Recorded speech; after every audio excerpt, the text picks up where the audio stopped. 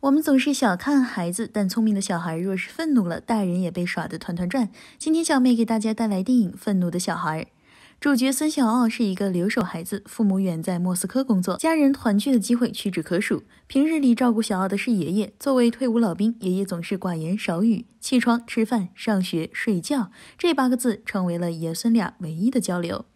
暑假过后，爷爷突然病倒，远在莫斯科的父母为小奥请来了一个保姆，身材魁梧、不苟言笑的保姆很不得小奥喜欢。生日将至，小奥盼着父母从远处归来，那是他们的约定。可临近时，他却收到了父亲寄来的相机，相机录下了父亲不能归国的歉意，同时也点燃了小奥的怒气。萌娃愤怒，锐不可当。小奥计划来一场离家出走。首先，用磁铁把保姆放在门口地毯下的钥匙拿进来，用气球挡住监控摄像头，顺利溜出大楼。再利用镜面反光躲过小区的监控。最后，小奥顺利躲进了搬家公司的车。在车上，小奥发现了车厢里的另一个孩子兰兰。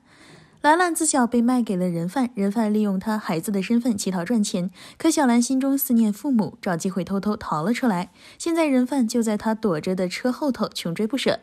小奥灵机一动，把货车里的油倒在了车后，人贩的车失去掌控，两个孩子顺利逃出他们的视野范围。搬家公司到达目的地后，兰兰便和小奥分开了。可兰兰身上装着人贩的追踪器，她刚走出不远就被人贩找到。好在小奥一手弹弓的绝活，用的炉火纯青，把兰兰从人贩的手里救出。这下兰兰和小奥也算是交上了朋友。两人跑了这么久，早已饥肠辘辘。小奥之前离家的时候拿走了爷爷的银行卡，他们想去银行取钱，可小奥根本不知道密码。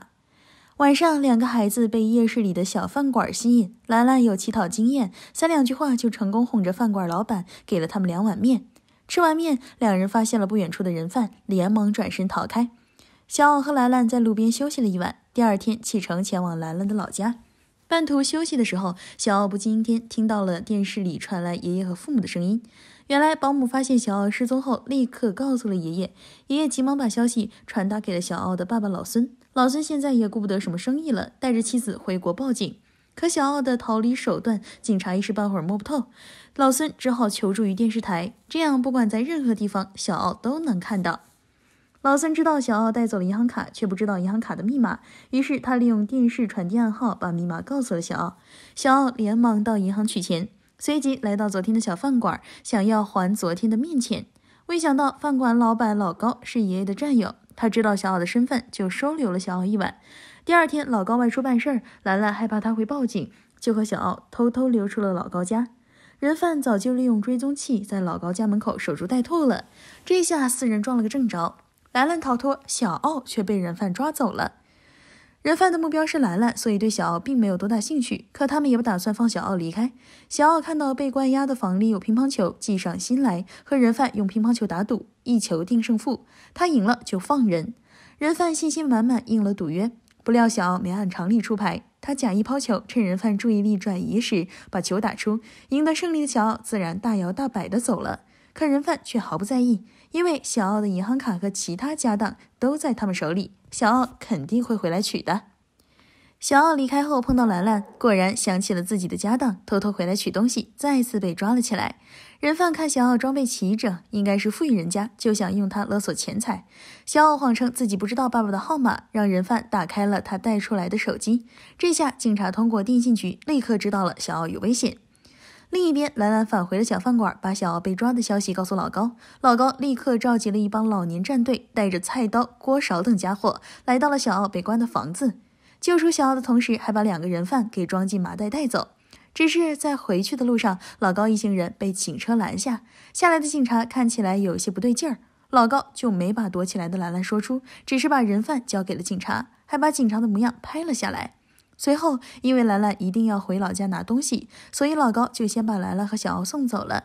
两人顺利来到老家，兰兰循着小时候的记忆，在角落里找到了儿时和家人的合照，这就是她必须要回来的理由。老高这边，他之前假装人贩给老孙打电话，让他独自来碰面。老孙虽然一言办事，但还是被警察跟踪了。来到碰面的地点，老高把之前拍的照片拿给警察，这才知道带走人贩的不是真警察，而是一个通缉犯，更是人贩组织的领头。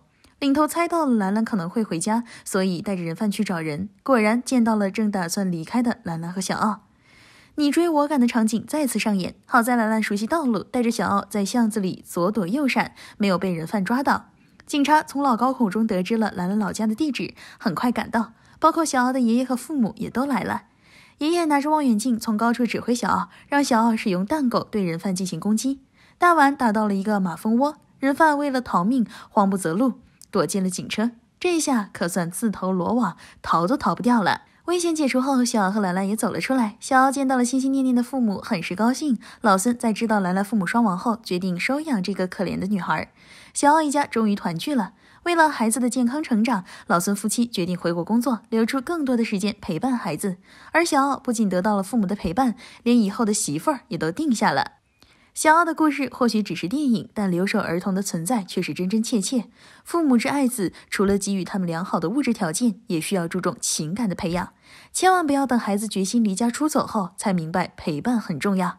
好了，今天就讲到这里，我是怪小妹，我们下期再见。